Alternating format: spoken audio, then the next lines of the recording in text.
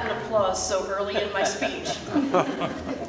I'd like to thank the Montague Methodist Church for welcoming us so willingly to use both the sanctuary and the fellowship hall, where we will be having refreshments afterwards. We do have a birthday cake, yay! And I'd like to thank Jerry Grady for taping, and also Kim I left my paper over there, Cotis, also for taping and making wonderful memories of this evening. When we do have refreshments, there are two red binders back on one of the center tables, and they have been put together by someone, I know not whom.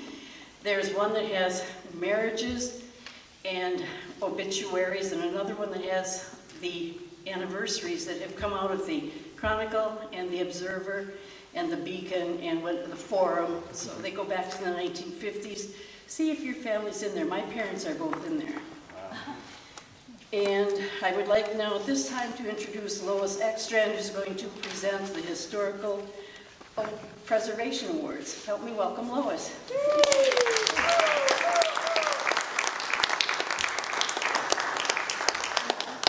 pictures while I'm presenting. Well, every year we give an award, or several, to the people who uh, have enhanced their property, maintained it, kind of added to the uh, beauty and, and preservation of the White Lake area. And so tonight, sometimes we give many, but tonight we're giving two. And I'd like to introduce the Toppings, Jan and John Topping. Would you come up, please?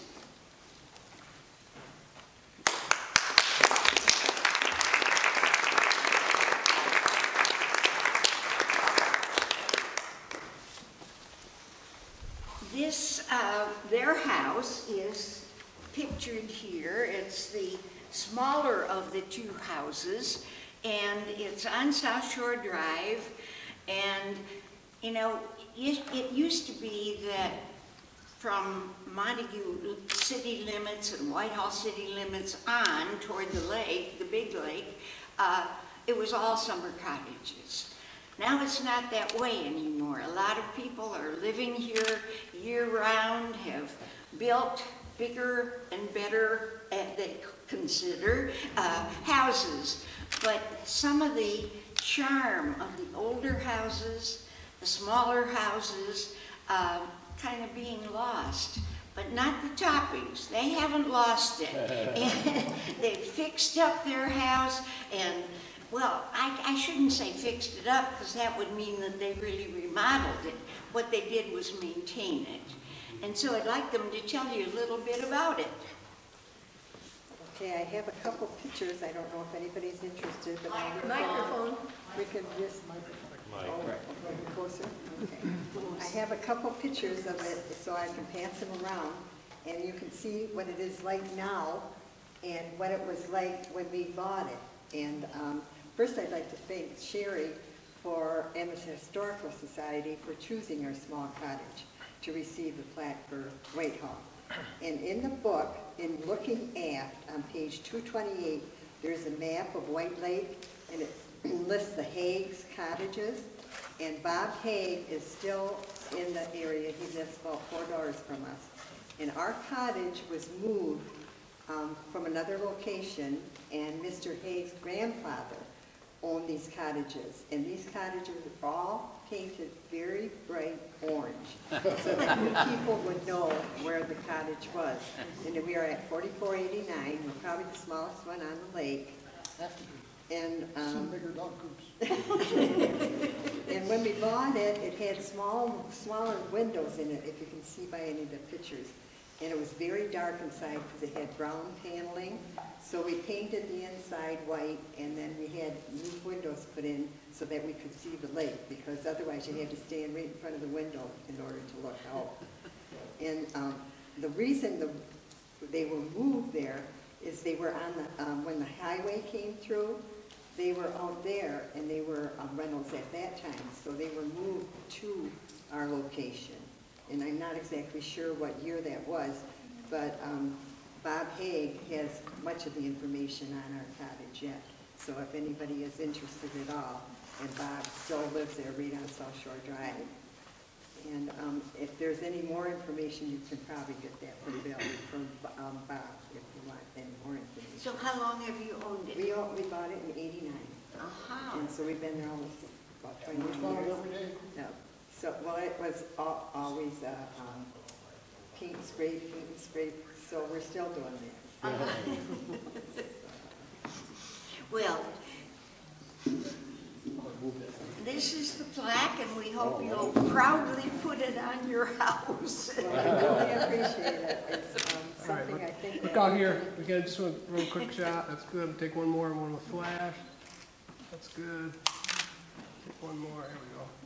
Cool, all right. You're going to be in the scrapbook, you see. That was what this was all about. Well, thank you, I really appreciate it. Thank you. I'm glad that you come.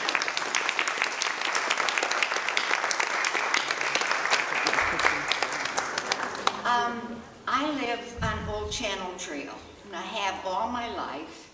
And every time I go to town, I pass the Ripley House. Well, I passed it when it was a dance studio. I passed, passed it when it was a residence, a play yard, everything.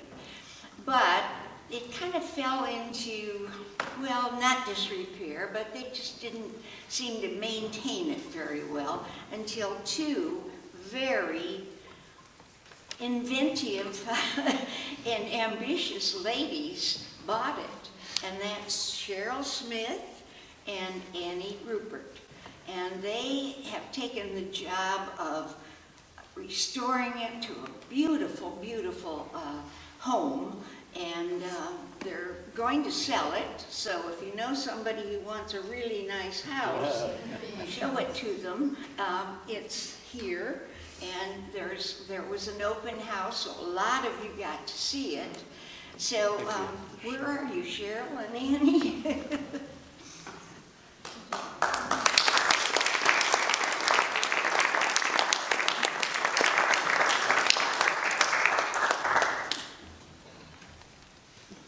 This is Annie, back here, right here.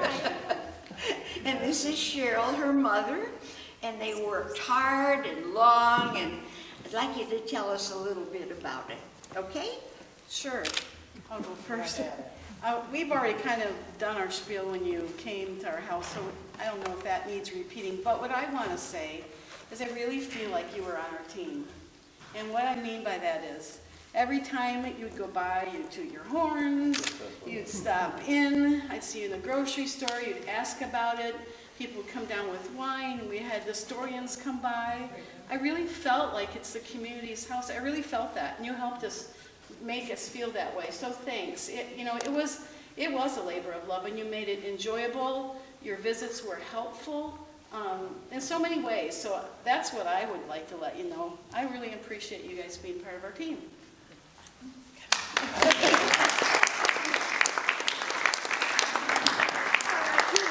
Have you got something to say? No, I put mom in charge of speaking. Say something. No, Let's thanks, see, there guys. we go, that's good. Look around here, here we go, big smile, that's good, and take one more here.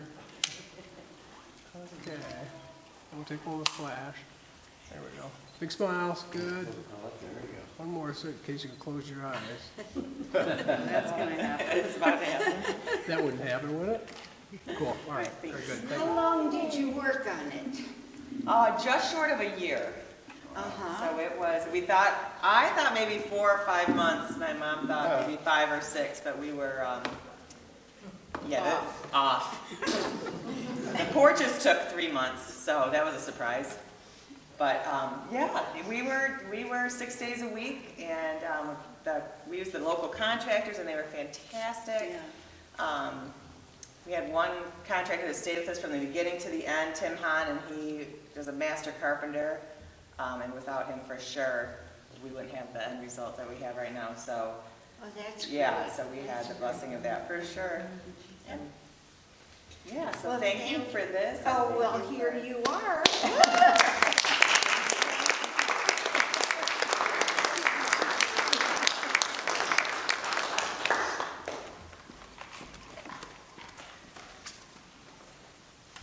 Not only do we have the Historical Preservation Awards tonight, but we have a very special award created for a very special person.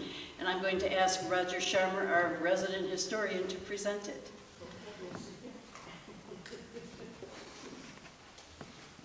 Please, She said, read it. read it, yes. I've got to learn how to read. Um, This award, basically, years ago, uh, 26 years ago, we started to Celebrate White Lake. And uh, I was just kind of recalling what would happen. Like, I, I had a conversation with Tanya Kabala, and Tanya said, we ought to do something about White Lake, you know, let's do something, whatever, what can we do? Uh, We have an old wooden boat show, environmental people coming. uh, And I, I learned from my, my city planning days that somehow, you know, it's kind of the role of the historical side. The more people know about a place, the more they appreciate it, the more they respect it, and, and uh, you're also getting ready for Mr. Bad when he wants to plow it under. And, uh, but anyway, uh, just, um, it's, it's a, it's a wonderful occasion, so we decided, okay, let's do Celebrate White Lake. It involved old wooden boats, and uh, everybody loves old wooden boats. And, uh, and a bunch of environmental groups, uh, the fish people, uh, I mean, you name it, Dan came and signed books, things like that. So anyway, the award says White Lake Area Historical Society presents this award to Tom Thompson. So Tom, you're going to have to come up here. Um, so I said, well,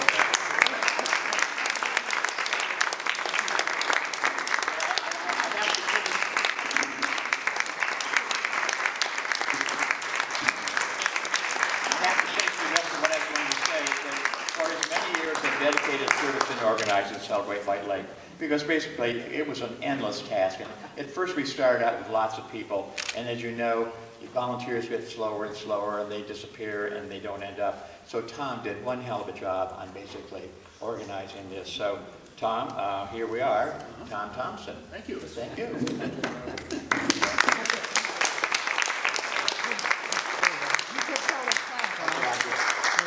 That's good, perfect. Don't get it Okay.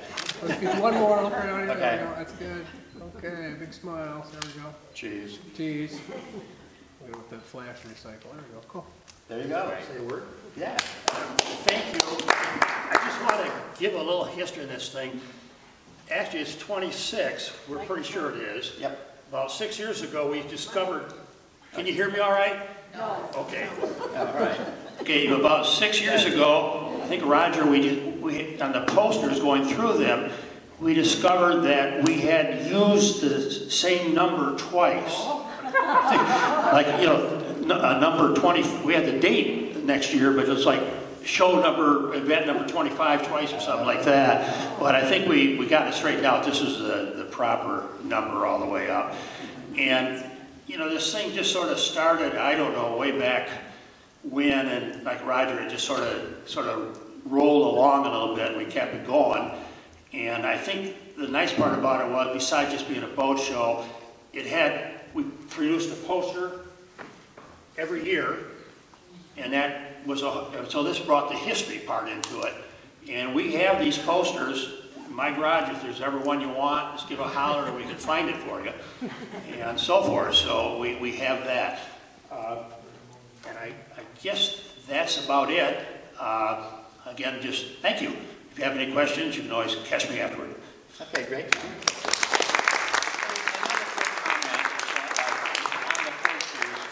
We've always kind of turned to Jerry Grady, and Jerry Grady does wonderful poster work, and he was very, very helpful on the posters. Jerry, raise your hand.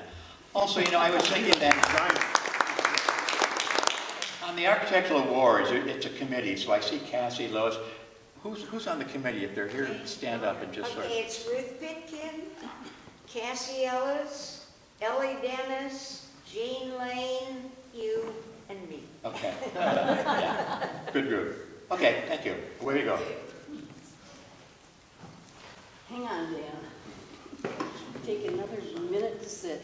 Before I turn it over to Dan, who will present our program for the evening, I'd like to just do a brief summary of what I learned today about the, the Historical Society and the way it came to be. They observed their charter night on August 10, 1978. That's 40 years ago last month. And the current membership at that time was 30 members. Today, we have a membership of well over 100, over 120. Whether they all come or not, mm, not so much. We're lucky if we get 40 a meeting, which is very sad because we try to have very interesting meetings. But it began as an offshoot of the White Lake Area Bicentennial Commission, and it encompassed the cities of Whitehall and Montague, as well as the townships of Montague, Whitehall, Fruitland, White River, and Blue Lake. So there were seven municipalities involved, and they still are part of our area that we serve. White Lake Area Historical Society began under the leadership of Darwin Bennett with annual dues of only $5 per person or $7.50 per family, which is not all that greatly increased to, to today. Today it's, 50, it's $10 a member and I think 15 a family, Tom? Yeah. The original officers included Carol Ackerberg, Marge Conrad, Robert Wilson, and Mika Pearson. One of their purposes was to collect and tape oral tapes of local residents as they recollected the memories of the old days, quote and unquote. Another purpose was to put together a compil compil compilation of all the centennial farms and homes in the White Lake area. They had six listed goals, and I'm going to read them briefly because I found them very interesting. Number one, to support all efforts to restore and preserve significant historical structures and sites. Number two, to initiate an ongoing program to designate historical landmarks in the White Lake area as a valuable educational resource for all future generations. Number three, to support the preservation of remaining significant natural areas that have not yet been developed by man. Number four, to promote our area as a tourist attraction and national landmark in Michigan's colorful lumbering era, which we will learn more about tonight.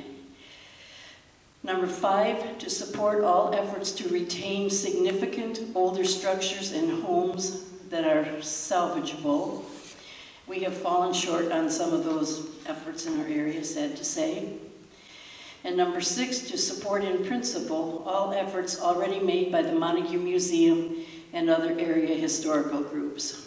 And at this time, I would like to turn our meeting over to our own and my favorite presenter, Dan Yakes, as he brings to us Life in the Piney Woods. Would you please help me welcome Dan?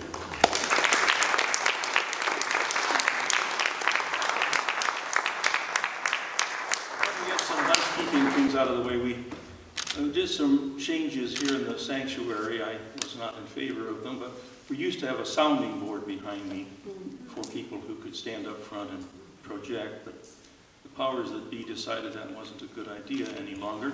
So they took it out and took the lights with them, so um, we'll get lights eventually. It's a little bit dark in here. Another thing, um, I have with me my partner in crime, Steve, Dr. Steve Demos. He's seated over here, distinguished character. We uh, have books. Some of them are about Muskegon, some are about the county, some are about White Lake. Uh, we have some of them for sale today, including uh, the next edition of uh, Logging White. It just came off the press today. I went down and picked it up. So we'll be back there if anybody wants to buy a copy of that. Uh, we'll be signing if, if, uh, your hand? I can do it. All right. Uh, I'm splitting the cost, uh, the, the, uh, whatever you contribute is twenty dollars. Uh, ten of it will go to the Hysterical Society. So, Historical, historical. you said hysterical. You, you said you'd been celibate for forty years. That is correct. Yeah, right. I don't go for girls like that, but I changed my mind, you're not my favorite after all. Well, I, I just must, must misunderstood. My hearing ain't so good no more. So, uh, you should have gotten a packet like this when you came in. I had thought about using a screen, but we don't really have a screen, so this is the number two choice. And you may take these with you when you leave. You don't need to put them someplace. If you don't want them, you can shut them aside, but uh, they're, they're yours to have. Many of these items are in the book. So let's start with uh, the first item you have. Logging around here began in the 1830s. You all heard the story about Charles Mears and his little brother Albert and two other people coming here to survey the territory, found, uh, wound up establishing a mill site at the mill pond. It's in Whitehall. The pond is still there. It's a different dam. They've had two or three dams. But the, the, uh, it was a water-powered mill and very small scale. And that was how they logged around here originally. Logging and sawing were the same thing. They would saw in the summer, they would log in the winter, all around the mill pond. I live right across from the mill pond, so they must have logged off my land. So, and they're probably using oxen or horses, but uh, very small scale. Now we often hear these stories about the loggers coming into Michigan, and of course, the old saw was when I was in college. We used to learn that everything north of Grand, uh, a line from Grand Haven to Port Huron was white pine lumber, if not for a couple of cypress trees or something like that, maybe a red pine or two. But uh, a bunch of biologists got together some years ago and put together this book. I'll show it to you.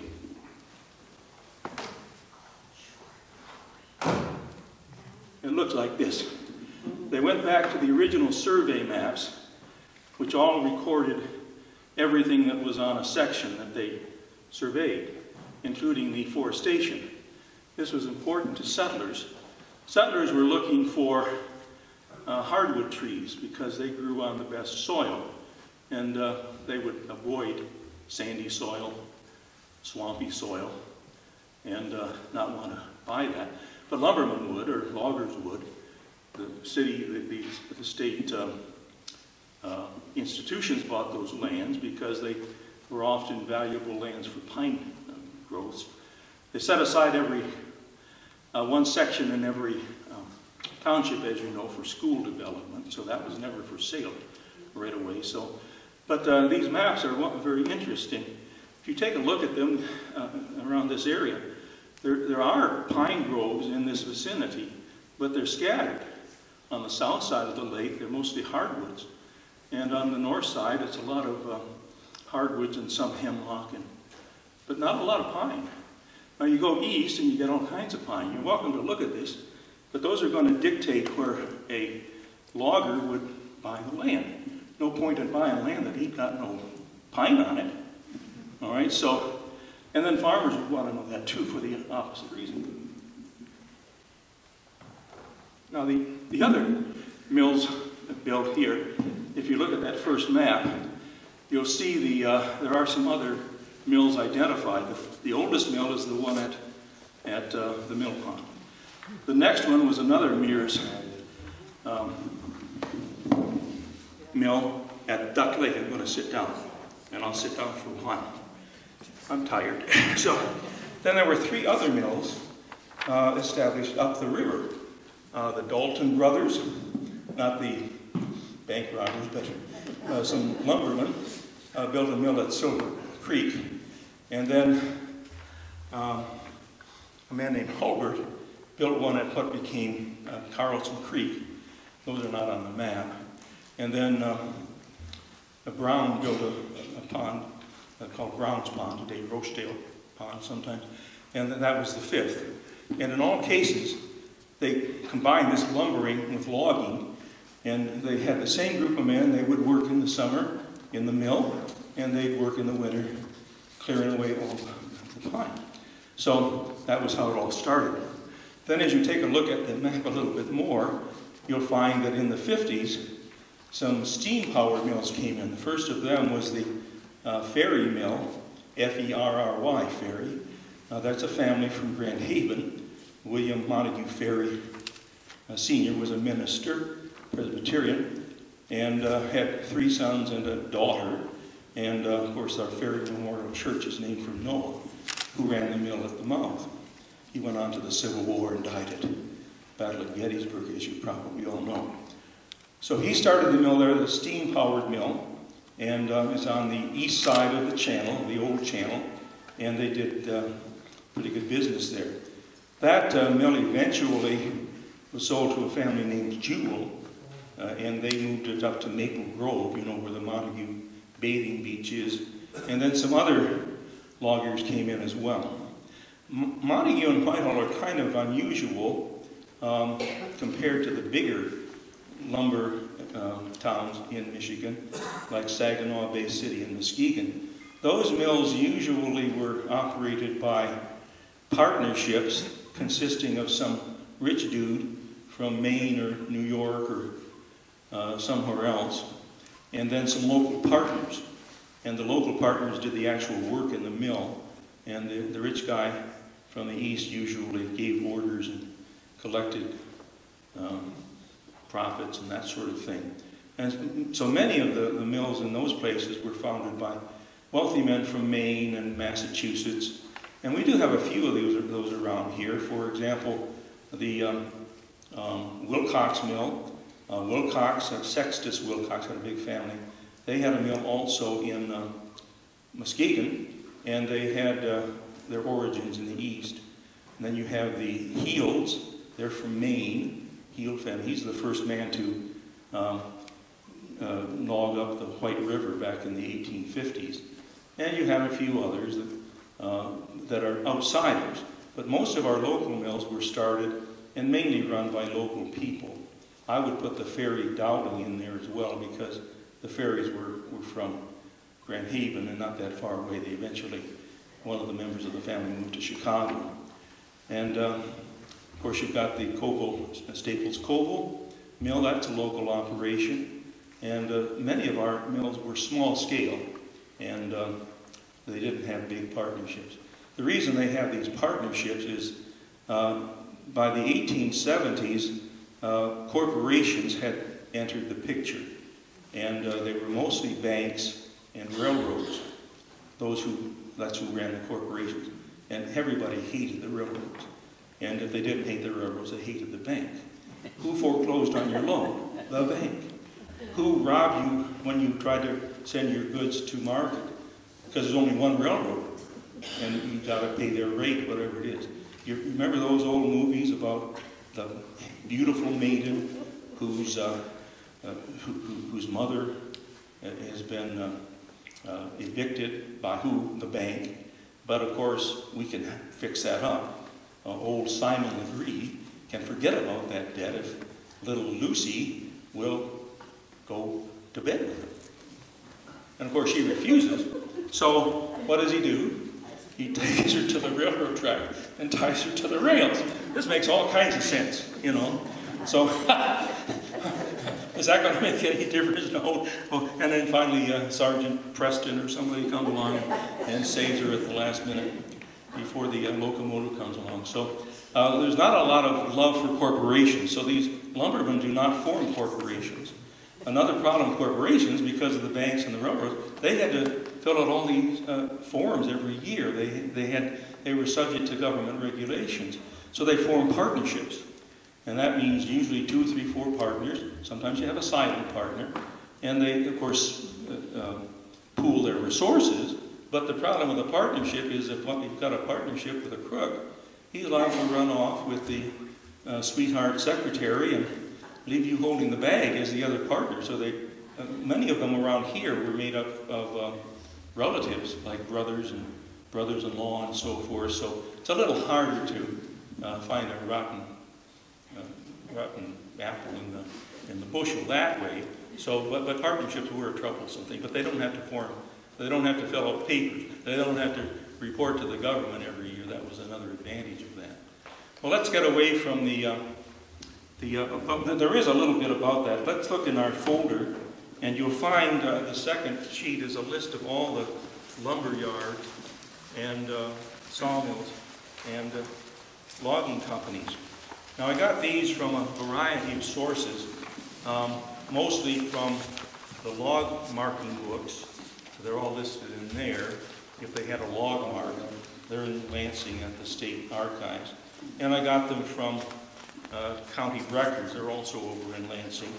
Uh, they, they did have to file paperwork with the uh, state, Secretary of State and, uh, or some other undesirable location for that time. And they're desirable places now. I went to school in Kansas, so I better not say that. But uh, at any rate, uh, the, the better, more desirable properties So you ideally want something on the river or a tributary of the river. You want uh, lots of pine trees. You want to have uh, access, ideally a high bank so you can load your logs onto the river, into the river. You wanted to have uh, um, access in, into the interior as much as possible. So most of the land that they identified uh, was either Oceana County, Newaygo County, on the north side, and on the south side, parts of Muskegon and parts of uh, Newaygo as well. As a result, many of the log marks they developed work just as well on the White River as they work on the Muskegon or on the uh, Pere Marquette if you go north. Because these camps were often in between the two river systems, and so they were set up so that a log could be sent down either river system, depending on how close it was to the point of, of felling. So they're going to get their land, uh, some of them from the Homestead Act, but mostly they get them from preemption claims. Federal law allowed that whoever was uh, uh, holding a piece of property up to 160 acres could buy it at the minimum price, dollar a quarter an acre, uh, when the surveyors came through. If you were sitting on that property and uh, had a, built some kind of a structure, uh, then you could buy it, didn't, wouldn't have to go to an auction. Now, if, if, you were not sitting on it, the land would go to an auction. And uh, then you might have to pay more depending upon whether someone was bidding against you. You might have to pay a, a bunch more.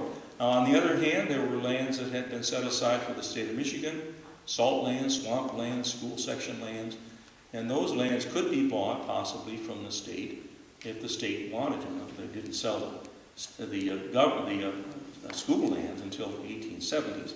The state was smart back then. They held on to the land until it was worth more, and then they would sell it if there was still pine on it. Some of these lands had lost their pines by that time, even though the uh, owner didn't, even though the government didn't know they were gone necessarily. But most of them were still good land by the 1870s and brought a big price. On the other hand, you could um, buy land from uh, men uh, who had served in, in, a war. In 1812 and, and uh, Mexican War, the uh, people who had worked, uh, who had served in the war, uh, got called a lumber scrip or timber scrip. They were pieces of paper, gave you title to 160 acres of land, you could pick it up yourself. But of course, many of these men lived in Massachusetts or Rhode Island or someplace like that, had no intention of coming to Michigan, but they would sell their land to somebody else, uh, maybe 50 cents an acre, dollar and something, make a profit, and they were never going to use the land anyway, but it was a way of getting some money for themselves. So sometimes these lands went very cheaply to anybody who wanted to put up the money. You usually had to have cash. So um, some of this land comes into private use well before the 1850s. And uh, they didn't have any plan on developing it, but they were holding it uh, for somebody who would eventually pay for it. Now, when they started logging, uh, if you take a look at the next sheet, uh, there are two kinds of logging that are done around here.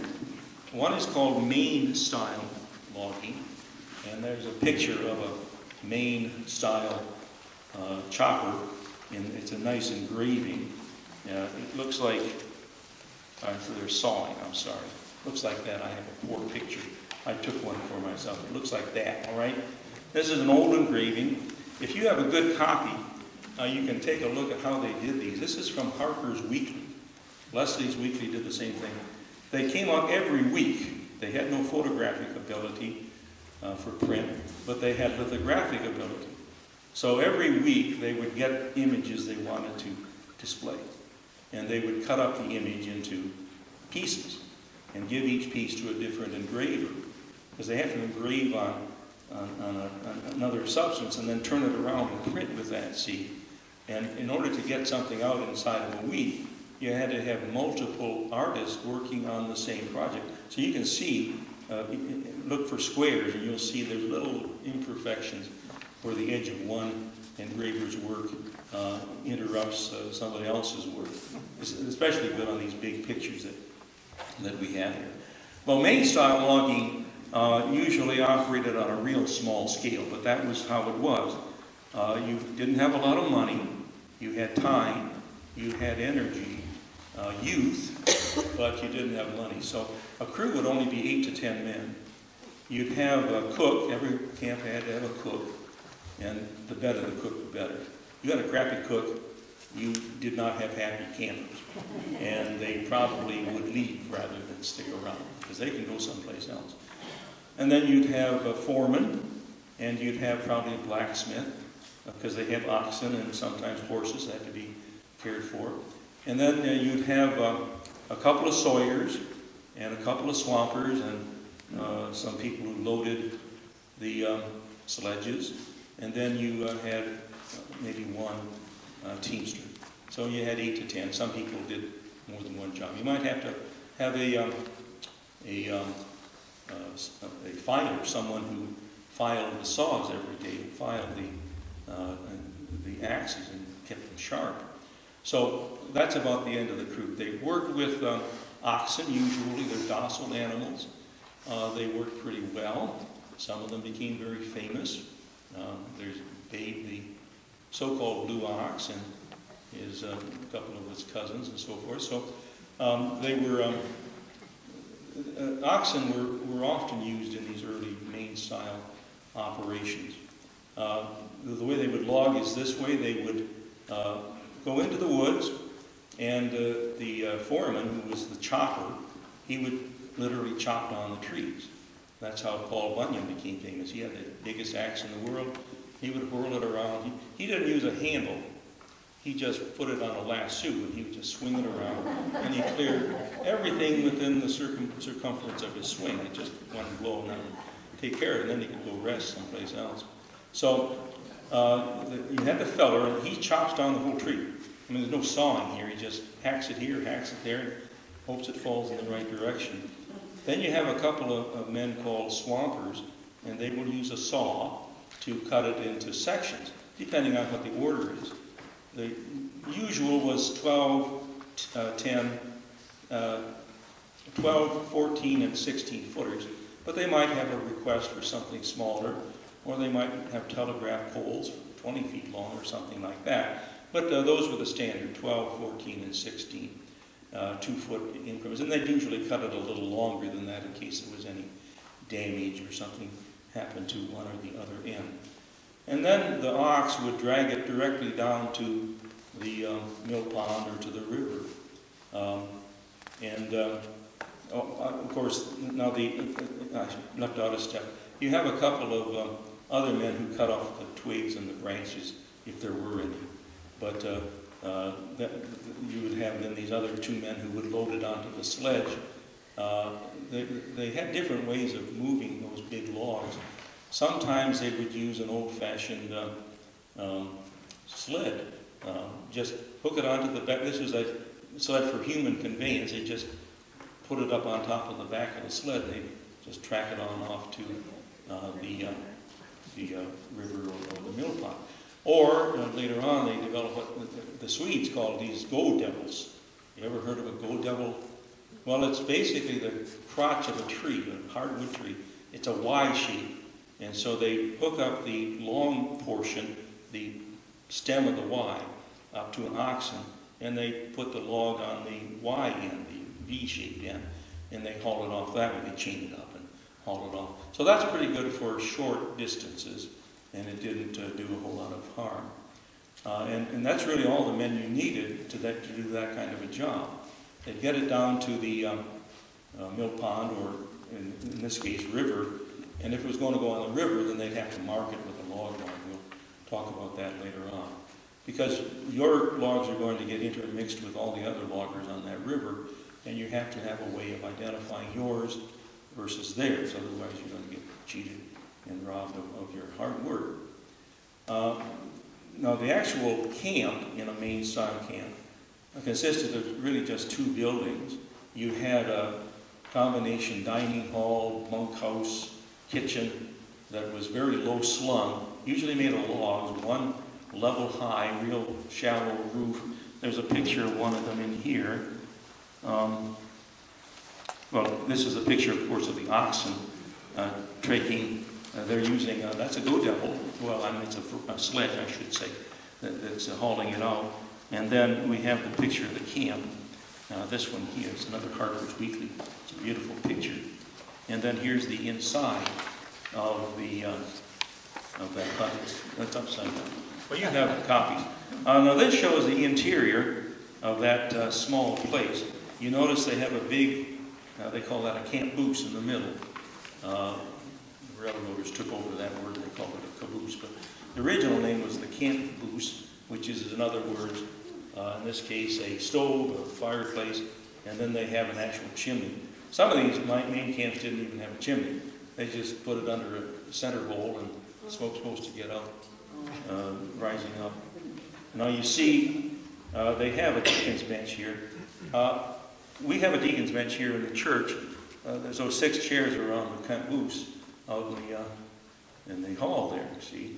I sit there most mornings and share my wisdom with Jack Lipka and Bob uh, Hubbard, and a bunch of the other people younger than me, and uh, I sometimes learn something from them, even young as they are.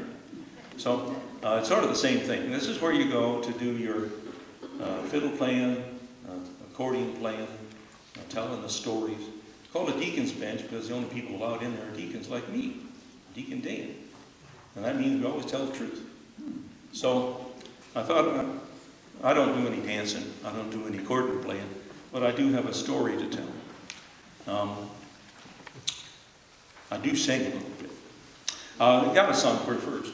I'm lumberjack, I'm okay. I sleep all night and I work all day. Smell pretty bad, but I don't care. Cause I got no sleeves, I got no fleas in my underwear. Can't get the words right. I'm sorry about that. Tell you the story. This was about uh, Paul Bunyan, and you know he had this great big ox. Uh, They, all the different stories vary. Some say he was only 12 feet 14 inches tall. Some say he was uh, 20 feet tall. Babe was 20 feet tall or 12 feet tall or whatever. Sometimes his horns were so far apart that a bird got lost flying from the tip of one to the tip of the other. Can't make any sense out of none of that. So, but this story is about Paul Bunyan. And um, oh, he was a young man then. Babe was just learning how to do things.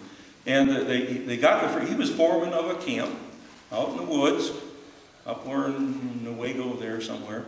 And uh, he noticed that the, the roads was all crooked. They didn't just twist them all over the place.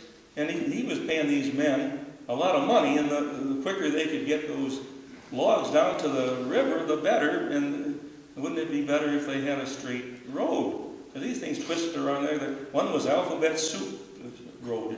Every letter in the alphabet was written out there in this road, and it's twisted all over the place. So they took Babe with them and some equipment, some chains and such, and they went out to the end of the road. And it took them 30 miles to get there. Now, of course, they were big, so they had big steps. And uh, it didn't take them but a couple of hours to get there. I was riding on, on Babe, so I couldn't have gotten there in a day. But they got there in about two hours. And they came to the end of the road after all these twists and turns.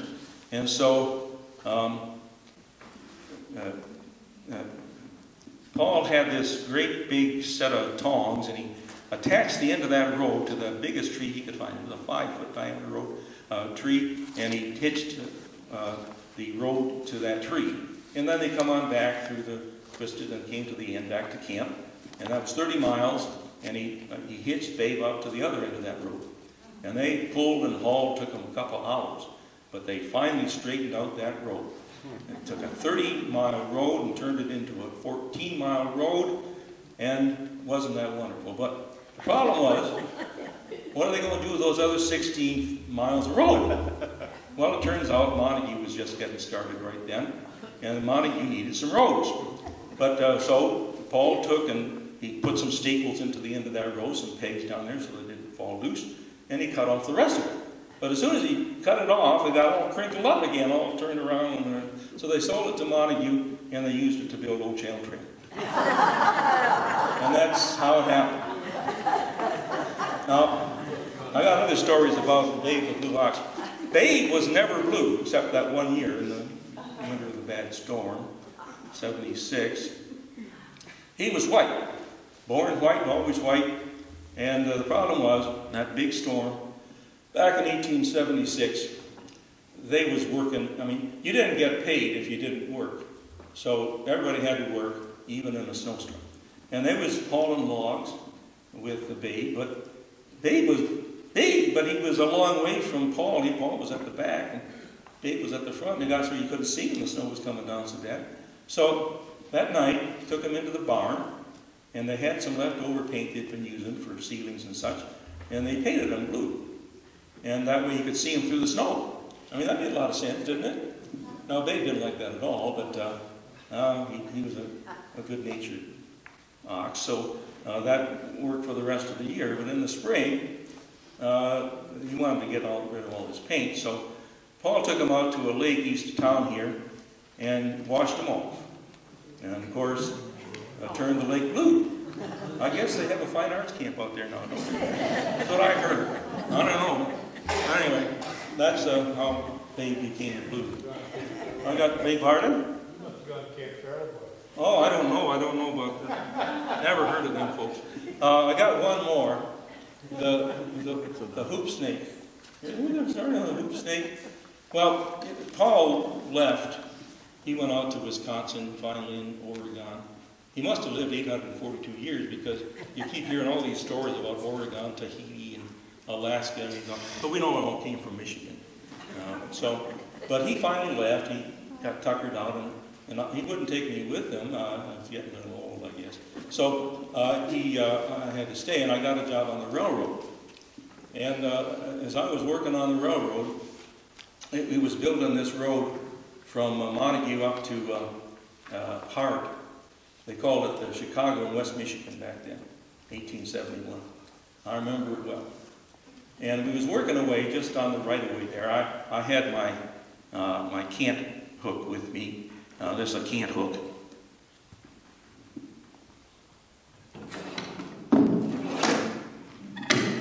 If I had a, I'm going to put this away. This is a cant hook. It's not called you can't hook. You, uh, this is the cant, and this is the hook. See, this is a, so this is what you do to, to move logs around, uh, and that's what I was doing on this railroad site. I was trying to get these logs out of the way. Well, along come, I saw all, all, the folks working with me, I saw them running away. And what are you running for? The hoop snake's coming, hoop snake. Well, I looked down, never seen one before. This hoop, this hoop snake was coming down the right away from Whitehall, just coming across the bridge. And this is the funniest looking thing you ever saw. This gigantic snake, he, he, he had hooked onto his tail with his fangs, and he was rolling along. You know, they, they're pretty slow when they're out there in the woods, but he had figured out a way to go fast. So I hooked onto his tail, and he was rolling along like a hook at him, and everybody was running. I'd never seen such a thing in my life. So I just stood there, petrified, with my cant hook out in front of me, and dang if that snake did not hook from its tail and, and try to bite me. He had hooks the size of elephant tusks. They was gigantic. He's all a poisonous snake too but he bit into my cant hook handle. There's a new handle, as you can see, uh, because the old one got uh, destroyed. Well, he kept on. He, once he saw he couldn't get at me, he kept rolling on, probably wound up in Ludington or someplace. I don't know. I don't care. They can keep him. But um, what happened was my, my, my, my handle for my, my uh, cant hook got all swelled up, you know, because all that poison went into that hickory. And it, it, just started swelling up, just like if you got bit by a snake. It all swell up. Well, the same thing happens to the wood. Well, it got so it knocked off the cant, and it kept getting bigger and bigger. Well, as it turns out, it was right next to the Ferry Dowling mill. So I dragged that, and by that time a log, dragged it over to the mill, and we cut off the last 16 feet of it. It had grown that big. And uh, as soon as I cut that and cut that off, another 16 inches, another 16 feet showed up. And we kept cutting and moving and cutting and moving. Before you know it, we had enough wood for 75,000 rail ties. The railroad didn't have to spend a penny on rail ties, and we built that whole railroad on up to Mears uh, with nothing but the rail ties from that, from that uh, uh, a can hook handle. Well, that worked out real good for many years, and then finally the Chicago and West Michigan sold out to the Pere Marquette. and that was uh, almost all over the state, but they were a cheap bunch of bums. They, they, they, they put most of their money into Detroit, and Flint, and places like that, and everything left over they put over here in western Michigan. They had the most rotten box cars. It was a terrible operation. They uh, didn't put no money into it at all. And their box cars was all rotten, the floors were gone. Well, by that time, we was um, uh, producing fruit around here, a lot of fruit trees. We had plums and we had peaches and apples. And, and uh, they got a load of uh, prunes. And these prunes was going to go up to the uh, tannery up in New Era. But they put them in these old rotten box cars. And, you know, uh, and they, they just started moving. But then a rainstorm came along and it rotted out the bottoms, and all those prunes fell along the right of way, all the way from here to Mears. And as soon as those prunes got into those uh, ties, they started shriveling up. You know, prunes, they just draw all the poison on it. And they drew the poison on all those ties, and before you know it, they was no bigger than toothpicks. So how are you going to run a railroad that way? So the company had to put out a lot of money. Well, it turned out all right because those uh, prunes swelled up to be the size of boulders, three, four inches, three or four feet in diameter. So the company sold them to a feller out in Arizona, and he built Boulder Dam from them. You don't like that one? Right. I added a little to that one. All right, well, I, I might have another story or two later. But um, let's get back to the other kind of logging. We had uh, uh, Maine-style logging, but most of our uh, operations here in, in Michigan were large scale, including uh, most of the White Lake area. Now this means you have a big crew of 50, 60, maybe 100, 120 workers and all kinds of specializations. So you have a, uh, you probably have an ink slinger. Uh, you remember Johnny Inkslinger was uh, Paul Bunyan's uh, accountant and tally man. And they have a scaler, and they'll have a, uh, a saw filer, and they'll have an axe grinder, and a, all kinds of specialty, a cook, and probably a lot of helpers. You're going to feed 120 men, you're going to need a lot of helpers. So uh, the crews got much bigger. And each, uh, in each camp, you'd have a different crew assigned to a different part of the property. So the, the, roads would fan out from the main roadway, and you'd uh, go out every morning, and um, uh, each crew would do its own business. Now, once they got to the uh, pines, uh, usually the foreman of that section would be the, um, they called him the feller, F-E-L-L-E-R. He, his job was only to notch the trees, to undercut the trees. So he takes his big um, axe, looks like this. This is a Michigan axe. How do I know it's a Michigan axe? Because it's Michigan. Now, the, the difference, there are different kinds of axes. Most axes are curved here at the top, just as they are at the bottom, but a Michigan axe is straight across. And that's what makes it a Michigan axe, and they're sharp at both ends. So he takes his axe, and he makes the notch, maybe five, six inches deep in the direction he wants the tree to fall. And it usually does fall that way. Then come along a couple of, um, they're called sawyers sometimes, they're called uh, other different names, and they saw down the tree from the opposite side. And I think there's an image in there of both a feller who has just finished notching the far side, and there's two men who are sawing it down. Now, the, the saws themselves are kind of interesting. Um, they're different kinds. Uh, they started out using crosscut saws that had nothing but teeth in them, figuring the more teeth, the quicker it would go. But of course, it doesn't work that way because they've got this big tall tree and they're slicing a very tiny slice through it with a small kerf, and it gets all stopped up with sawdust. So you have to have gaps between the cutting teeth. They're called raker teeth, and they're little tiny ones, and they, they form an opening there so that you can scoop out the sawdust. Different kinds. The one I have up here, which I'm not going to get up to show you, is a, a no-name type. It's got a tooth a raker, a tooth a raker. It's that way across the whole uh, surface. There was another kind called a tuttle, I suppose named for whoever invented it. Got two teeth, a raker, two teeth, a raker, and so forth. There's another kind that has three teeth, raker, three teeth, a raker, and so forth, all the way up to five teeth, uh, depending on which ones you think best. But they still got bound up, so if a saw got bound up inside the tree, there wasn't any way to get it out because they had soldered on handles. And um, you would try to get it going again by pounding wedges, metal iron wedges into the cut to get it raised up a little bit, but that didn't work with a really big tree. So somebody in Michigan invented the uh, detachable handle. This saw up here, which I'm not going to show you, has detachable handles. You just unscrew them, and then you get them off one end, and you can pull it right out, clean it up, and slick it back in again, attach the handle, and you're set to go again. So uh, all of these things happen with uh, loggers. These are things invented by the men themselves, not the superintendent, not the big boss. They, they're sitting in their office doing nothing. Uh, well, they did a lot, but they didn't do anything with logging. It's the loggers, the people who actually did the work, who come up all, with all these wonderful inventions, and then they have to sell them to the owner of the company. That happened quite a lot. So you got several crewmen there, and then the next step, once you cut down the tree, you've got to saw it into sections, 16 footers or 14 footers or whatever they are, and then those are uh, sent over to the um, loading point deep in the woods now, and uh, with the cant hooks, or if they're really big logs, you might use an ox or a horse or something for that. And then uh, you, you pile them up there, and then you bring in the sledges.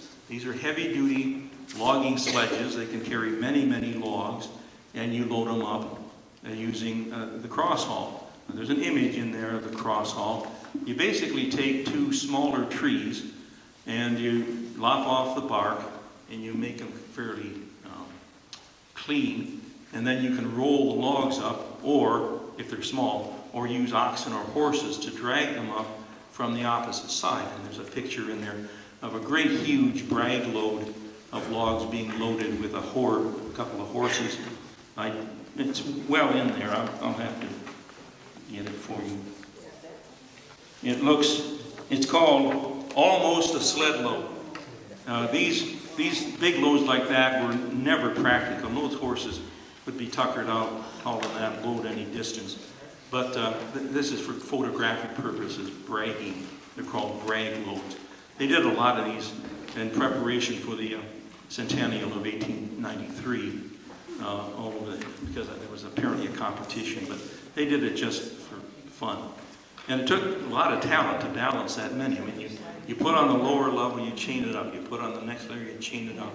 These have to fit pretty well together in order to be stable as you haul them down to the river. So uh, this is a big load, and you see the horses on the far side there. And it takes usually three or four men to handle this big a load. All right? So that's how they, and then they take it down to the, uh, to the river, and there the scaler is going to tell you what it's worth. But uh, the companies wanted to avoid laziness and slovenly work, so they put each crew in competition with each other crew. They had three or four crews. The crews, interestingly, were all named for their horses. Bob and Becky, and Bob and Becky. No, I'm in Bob and Becky's crew. Well, because they always had the same set of horses, but the members of the crew might vary a little bit from day to day. And every week they would have a competition, whichever crew brought in the biggest uh, pile of logs based on their um, log feet uh, measurements. A log, a, log, uh, a, um, a, um, a, a, a, lumberman's foot, uh, the, uh, the foot of a, the, the measurement is in terms of board feet. And uh, that's one inch, and that's a real one inch, not the little puny size we have today. One inch uh, by 12 inches wide by 12 inches long. That's a board foot. And the scaler determines how many board feet are in a log, and then that crew will get credit for that many board feet during a month, during a week, or during a month And they, they win um, uh, benefits at the company store at the end of the week. Uh, There's always a company store in a uh, logging company like this, and you could buy cigarettes or tobacco or whatever was for sale at high prices, of course, but, but uh, it was a benefit that you wouldn't ordinarily get. I shouldn't have said cigarettes. These loggers do not smoke cigarettes. I don't know who this dude is but the cigarette is, that Roger gave us. They smoke pipes, they smoke cigars if they could get them, they chew, chew tobacco, mostly tobacco. They didn't use any pimp sticks, that's what they were called. A pimp stick, you know who, who smokes them. So, no good logger would be smoking any pimp stick. I can tell you that right there. I don't know where that guy came from. So, uh, that's how they keep these uh, crews in competition with one another. And uh, getting to the scaler, every camp had a scaler, and his job was to measure the amount of board feet in every load. So, of course, he can step off the length of the log uh, with his feet, or might use a measure. So he knows it's 16 feet long. And then he always measures the, the skinny end. Because, of course, these trees grow, they're bigger at the base and they're smaller as you go up. So he's only going to measure the, the small end, and then he'll use this. The loggers call this a swindle stick or a cheat stick. And he take the measurement across, and then there are all kinds of enumerations on here that tell him how many board feet. In other words, you're taking the diameter and uh, multiplying it against the length and coming up with a number for that tree. So a good tree would get you a thousand board feet. An even bigger tree would get you maybe 2,000 board feet. So it's a, these are big numbers when they finally got through. And then he'll stamp it with a, with a marker.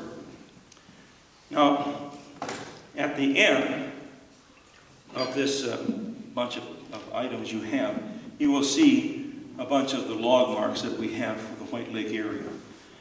Uh, this is a logging hammer. It's very similar to the Goodrich mark that's in, uh, included in those 200 um, log marks that are at the, the end of your packet. I have another one that's similar to a Green and Kelsey log mark. These are not from around here, but I buy them on the, on, uh, the internet and I try to get marks that are similar to the ones we had around here.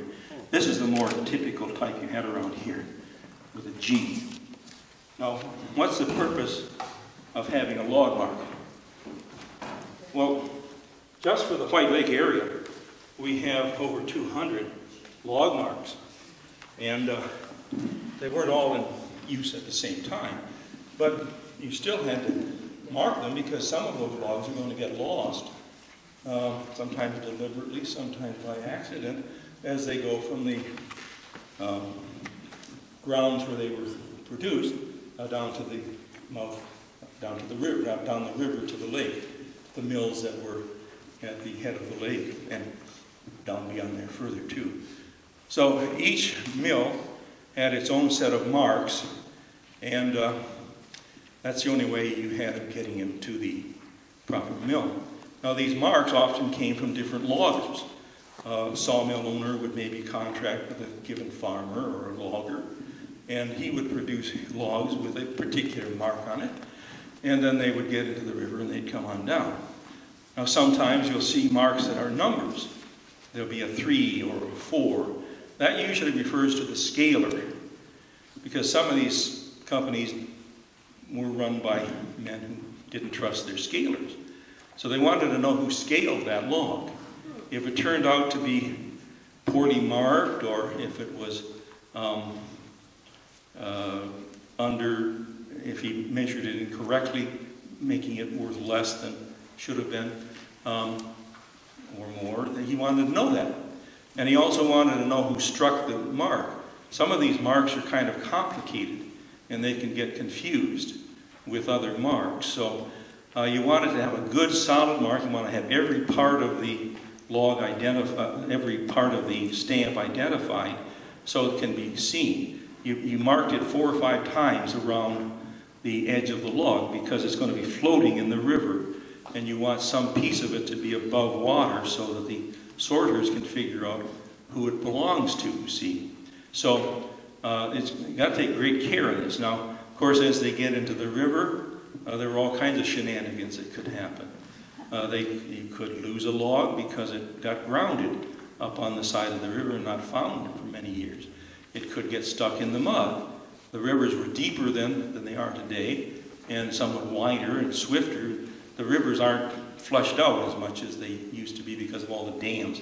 But every spring in the olden days, they would be, you'd have a spring flush that would flush everything out of there, including last year's logs that didn't get counted and all kinds of other things. So a lot of people, uh, maybe you remember there used to be a sawmill on Spring, uh, Spring uh, uh, Creek, um, just east of town, Fehrenbach. The only, the only logs he ever sawed were deadheads, logs that he picked up along the river that had been stranded from 30, 40, 50 years earlier. There were a lot of companies like that, and eventually he ran through them and he couldn't find any. So he went out of business. But the, uh, the logging marks are very, very important. Uh, these logging marks are registered by law. They had to be registered in every county through which that river flowed. So in our case, it would be Newaygo, Oceana, and Muskegon for the most part. But uh, those same log marks were used in some cases in Muskegon, but not all. So you have to make sure that they're registered for both rivers if you own that particular mark. And so they're, uh, they're, going to go down the river and eventually they'll come to the sorting grounds, the booming grounds. You can still see remnants of the booming grounds to the east, well, north and east of the uh, bridge. That's where the booming ground was. And they'd come in, and you have the initial sorter. He sorts between Whitehall and Montague. So the marks that, and he's got this in his head. He got a 200 different marks in his head. Know, this button, this log goes over here, this one goes over there. Then you got another sorter who says, well, this one goes into that pen, and that one goes into this pen. And every company had its own set of pens. And so they put the logs that go to a particular pen into a into a raft, and then eventually they, they get towed uh, down to the proper mill. Uh, they, they, they charge rates for this, is the white, the, the booming company charged rates. If you had a mill that was right close to the head of the lake, didn't get much of a bill. If you were at the governor's mill way down, that'd be where Lakeside is today, you got a bigger bill because they have to haul it further. So that's how they got to the mark. I'm not going to talk about lumbering, but uh, get back to the Michigan camps. Now these were big camps, so they're a bit different from the Maine camps. Uh, they had separate buildings for the horses, uh, and uh, the men were in the bunkhouse, and they have a separate building for the dining hall, and probably had a separate building for the kitchen, or maybe attached to the dining hall. So they're much bigger. Um, they all they still had the camboose, but it's much uh, bigger. And of course, uh, they the bunks were uh, they called them breech style bunks. In other words, you got in through the side. In the Maine camps, you, they were called muzzle loaders. You got in from the bottom, and you crawled into the top. And that meant you, your feet were always to the fire, you see, because it, gets cold. But these uh, Michigan camps were better insulated and didn't need so much warmth. You always wanted the upper bunk because uh, they get restless, their beds were made of straw, and as you turn around, all that straw comes down and hits you in the face if you're in the bottom bunk.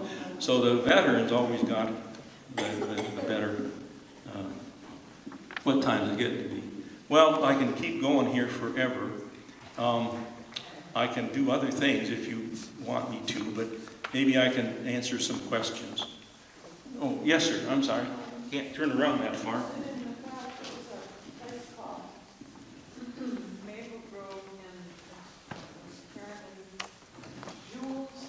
Yeah, Maple Grove is the Montague bathing beach area. Uh, we used to call that, across from it was Bartow's Marina. There's a little marina there today. That's Maple Grove. Is that a, is that a last name of a family? I think it was just the kind of wood they had. As I said, oh, Jewel. Oh, he, yeah, he was a lumberman. Uh, he bought out the uh, Ferry Dowling operation and moved some of the equipment to Maple Grove. Um, is there a question back here? I got two in a row here. I don't know who, who- in the second. With the, uh, Sir? Um, how did these, um, camp, camp people know how to organize a logging camp? And was there a training session for the people? No, you just learned by, by doing it. I mean, as I say, some of these companies started out in Maine, New York, Pennsylvania, places in the east. And as they used up the log, the lumber there, the timber there, they, they gave up, maybe sold out their holdings and they moved west. So most of our loggers come from the east. And then and the whole industry is moving west until it gets to Minnesota. And then you get the plains, you know, you got no trees out there. And then it jumps over to the west coast, to the big uh, uh, trees out there. In, in Oregon and, and California, the, the word lumberjack means a sissy. That's the fellows that cut down these little puny trees in Michigan and Wisconsin. They're timber, timber bosses, timber beaters and so forth. We got the, the big trees, you know, the one where you can go through, take your car through them. So uh, they're a different out there. You had two more questions. Oh, you're happy, all right. Yes, yes. Story. A friend of mine grew up in Quebec, Mhm. and she's probably about nineteen thirties. Her family, her dad, um, had ten or eight or ten children. Mhm. And he would go for several months to be a lumberjack in the Michigan woods. Yeah. And one year, everybody said he, he was going to be back for Christmas. And he was gone for months. Anyway, they woke up Christmas morning and there he was. Showed up. Probably took a bath just then too. That's the only one he took all year long. You know, these, these fellas, they, they would take off their outer duds when they went to bed at night because they were all wet. They'd hang it up over the booth. And um, then they'd sleep in their, their underwear. See, red flannel, usually two-piece. The others were too complicated, they had traps and such. So, uh, and, and, and so they hardly, they never took a bath. I mean, there's no place to take a bath. So they take a bath once a year in the spring, and that usually did them until next spring. See? You never know what's going to happen. Uh, you're talking about the, the different nationalities. A lot of them are French Canadians. They're called pea soupers. You couldn't understand them. What do you say? I don't know. Uh, you had uh, roundheads. Those are Scandinavians. They called that because they, they cut their hair, you know, put a bowl over their head, and they cut all the way around it, you know. Then you got the mix. Those are the Irishmen, you know. Uh, some of my ancestors was Irish. You couldn't tell that from there. And the Germans, and the, we call those Krauts, of course. And then you got people from all nationalities. It was said in a big lumber camp that they snored in 14 different languages. I don't know. Sometimes they work, sometimes they don't. Other questions? Dan, the, the Ferry family kind of had it all. Yes. How does Dowling come into the picture?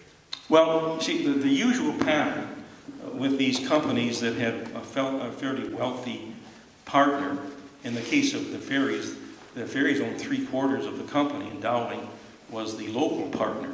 He owned only a quarter, but it was a wealthy company, big mill, so he made a good fortune out of it. So usually the money bags, um, they, they uh, control the business. They have half of it or two-thirds of it.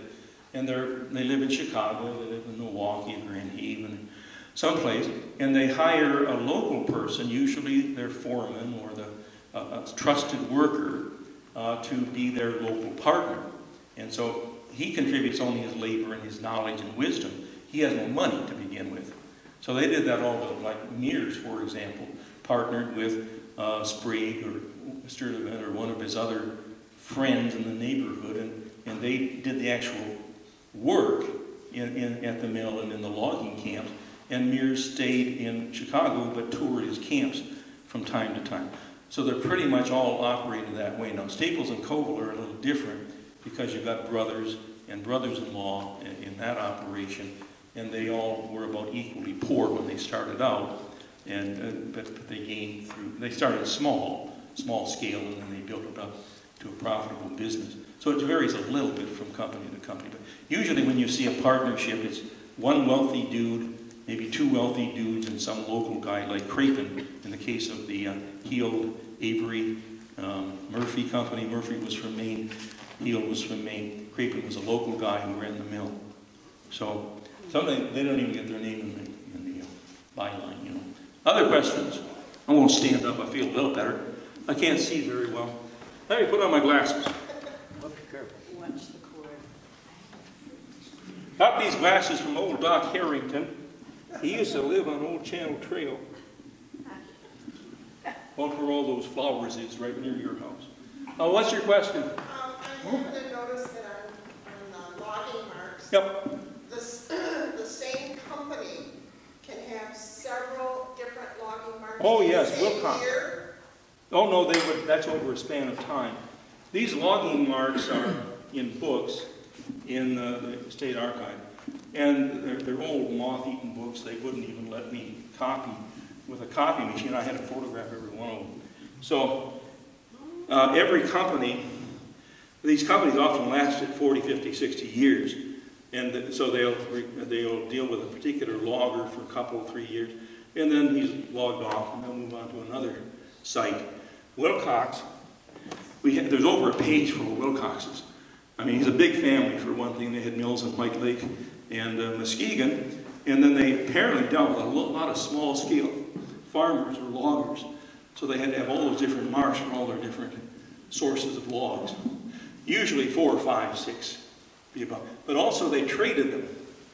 So let's say you had a partner who left, he would sell out to a new guy who bought his partnership. So you may have to change the name of the company. Or maybe somebody was crooked and they drove him away and brought somebody else in to take his place. I mean, there's all kinds of shenanigans in this.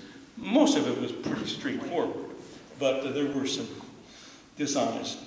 Well, you know the story about the log marks. Between here and the camps, there were always little bayous, and somebody, some of these logs would go astray, and uh, somebody would saw off both ends and uh, put another mark in their place. And uh, now we find those all the time. They're not always evidence of chicanery. It could be honest. It could be that at the mill site, the one end was kind of ragged and would be difficult to put through the carriage, so they would saw off the end to make it easier to manipulate. And so some of them are legitimate, just the way they had to do business, but a lot of them are evidence of, of thievery, called dehorning. See, these logs are marked with a hammer, but it's the same principle as you would put a, a, a brand on a cow, uh, but they branded on the horns originally. But of course, that was too easy.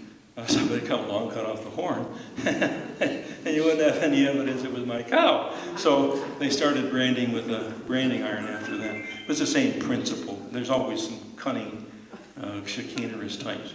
Question, yes, sir? Uh, you, they could, you could still find some of those log endings. Yes. Along White Lake. Oh, yes, I- In the holding yards. I- that's where I Even up by the one. parks, they would float up and Oh, even yeah. as short a time as ten to fifteen years ago.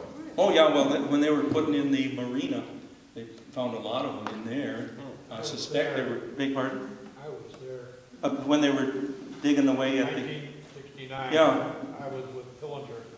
Oh, yeah, and Harry. he and Dick Webster and I basically built what became what's now they Landing. Uh-huh, sure. We dug out the... Skipper's uh, Landing. We dug out the uh, all.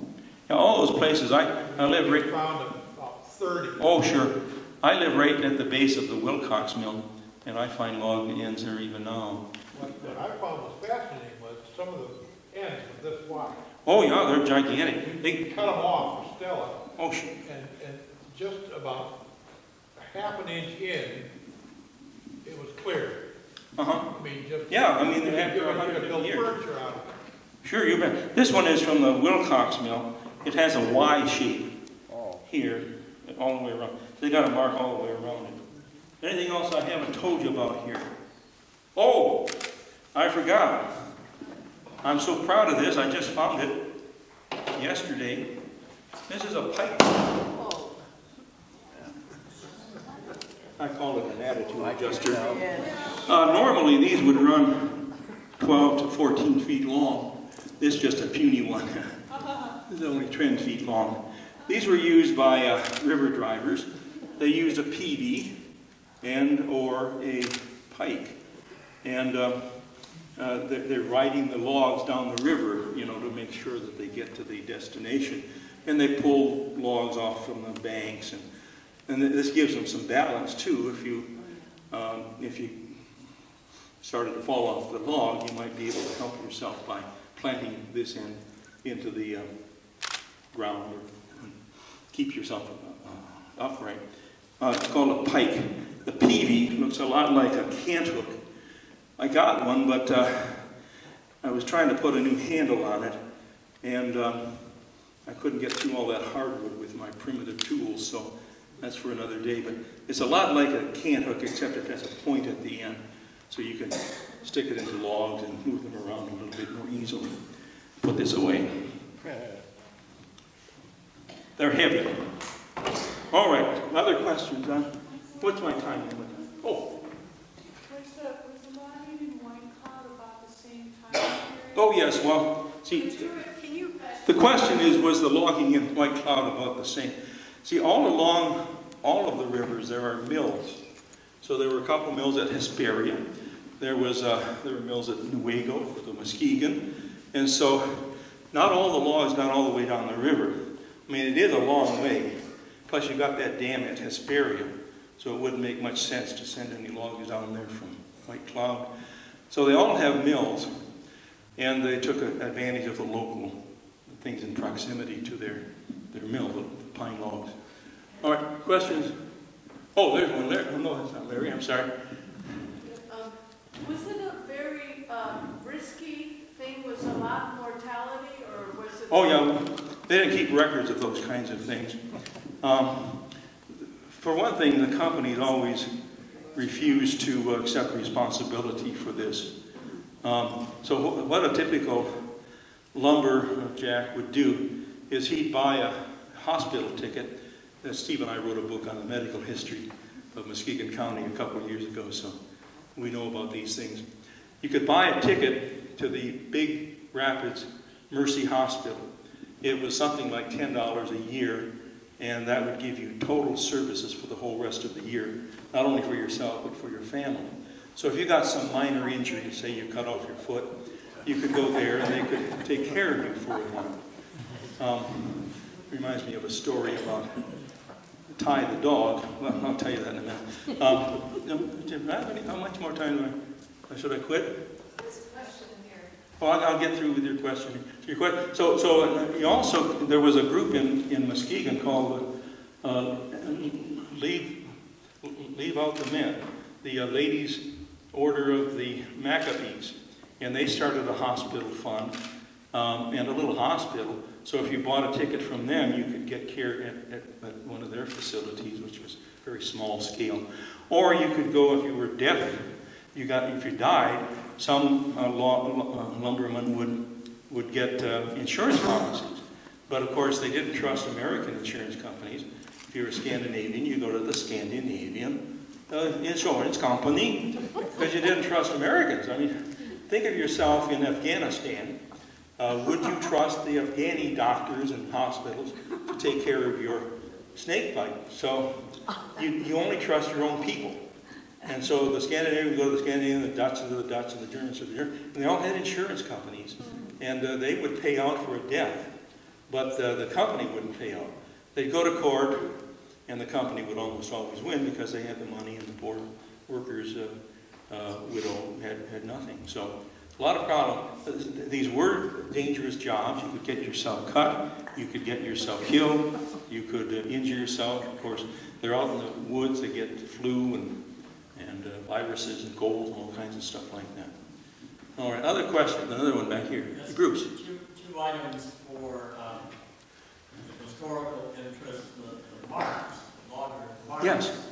are created into law in Michigan in 1845. When Michigan is only eight years old. Sure. Well, And then Sure.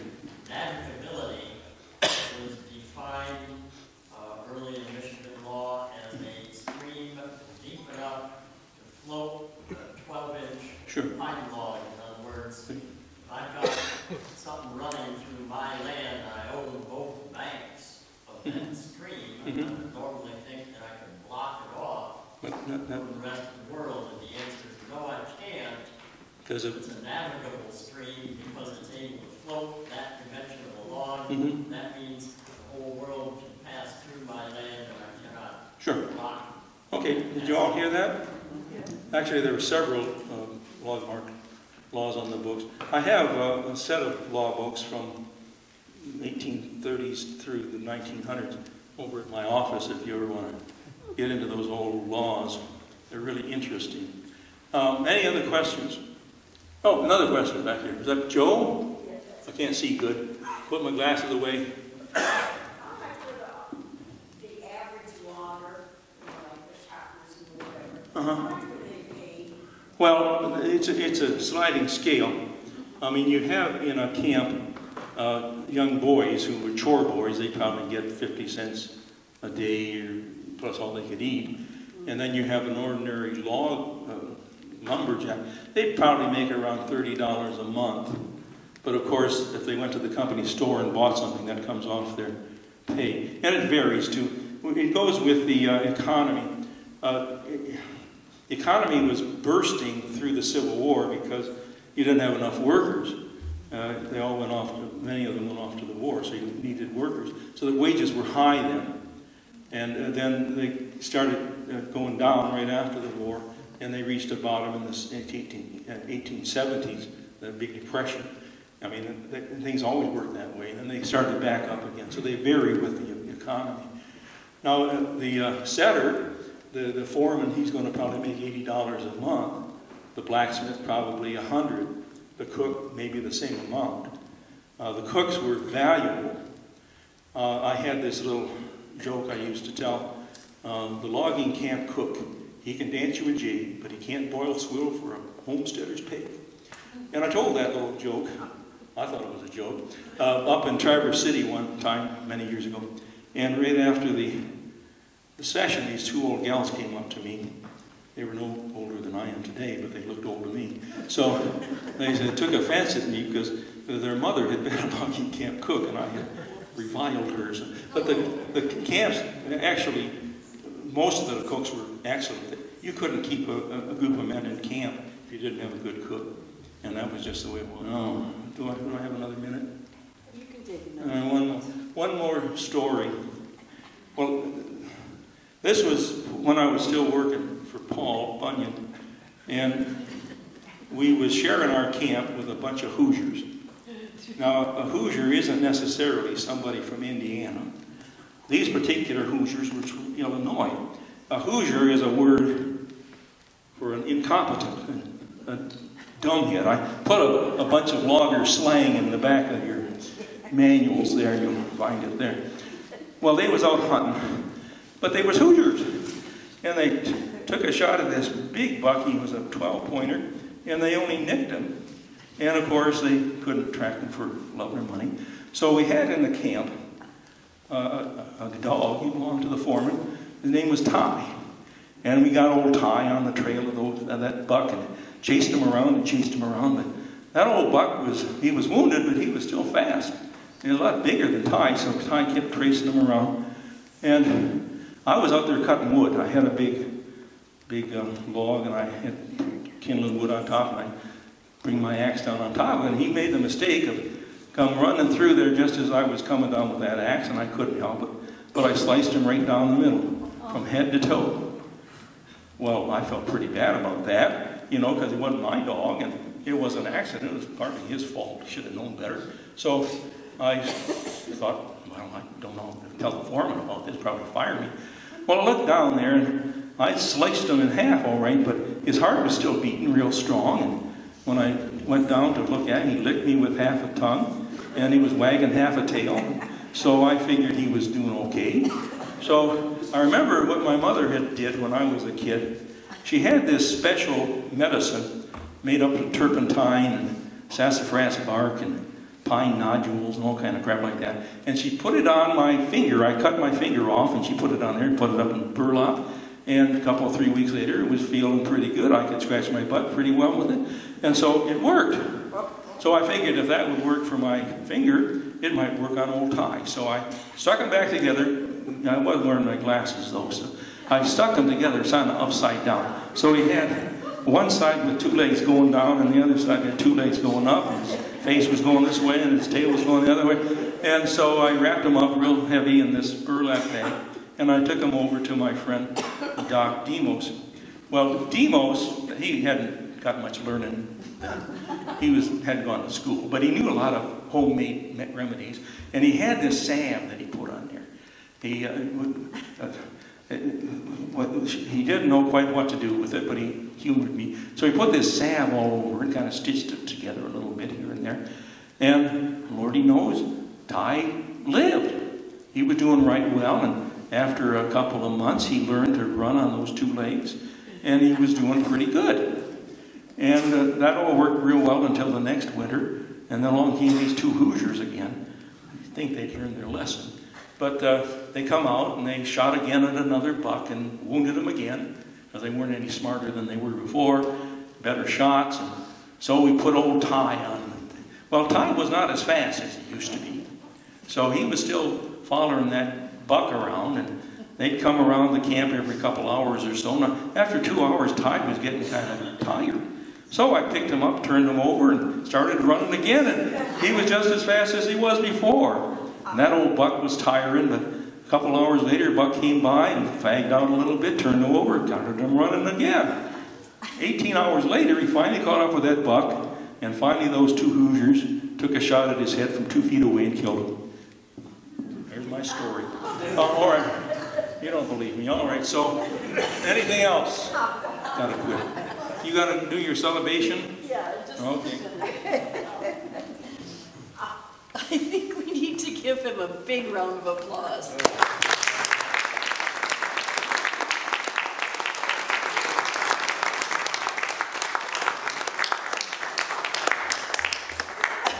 I would like to ask Margot Haynes to come up and give you some announcements that she asked if she could give while the rest of our board kind of goes back and gets our refreshments situated. So you are all invited to stay for birthday cake and punch and sharing of, I'm not done yet.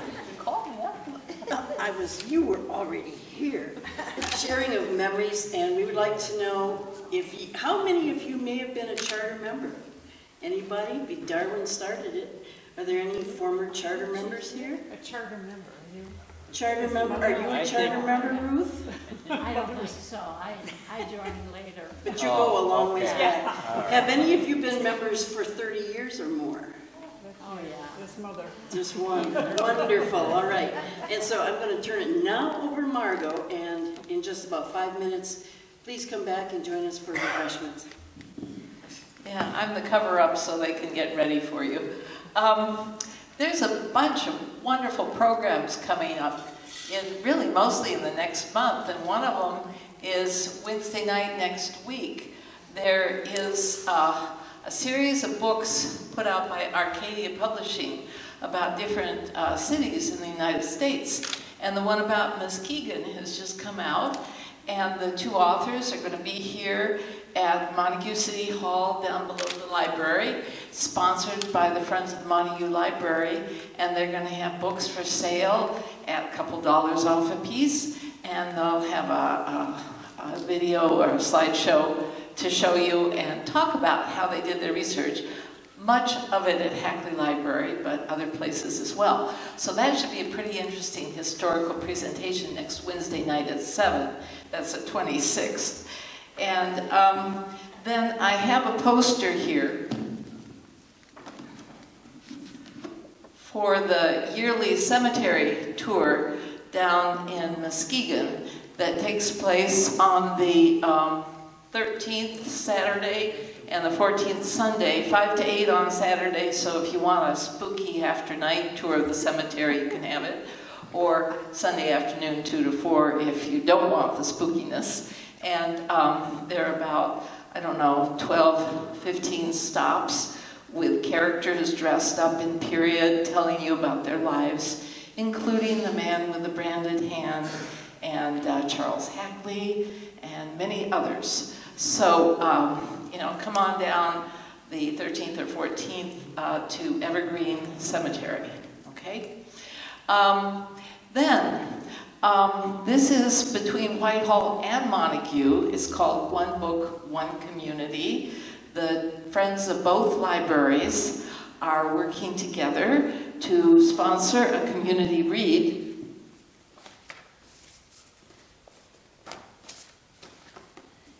And the book is The $500 house in Detroit. And you can get it at the Book Nook, or if you go to the Montague Library, they have some that you can borrow and take home that are provided by the Maddle system. And the Whitehall and Montague Friends groups are having a number of presentations. One of them is going to include the Ripley House. Uh, so uh, we'll have our guests from tonight, our awardees, talking about how they approached their remodeling project and some of the adventures they had. And there will be four other local remodelers. I think it's four other. I'm not quite sure of the list yet. And this is going to be on Tuesday, the 16th of October, also in Montague City Hall Council Chambers. And uh, based on the story in this book, our local people are going to talk about how rebuilding houses also rebuilds community and should be a real interesting set of presentations. Um, Semi-historical because they're taking historical buildings and trying to preserve them um, and make them into something new at the same time. Um, this One Book, One Community will also include another panel discussion that will be on the other side of the river at Lebanon Lutheran um, on the 23rd of October, and then a book discussion at the Book Nook once you've read the book, the first Wednesday in November. And then finally, we're going to close out with a potluck at Lebanon Lutheran with the author attending both a potluck and giving a talk. And that'll be on the night of Veterans Day, the 11th, Sunday night. Um, so put that on your list is a real good thing to read.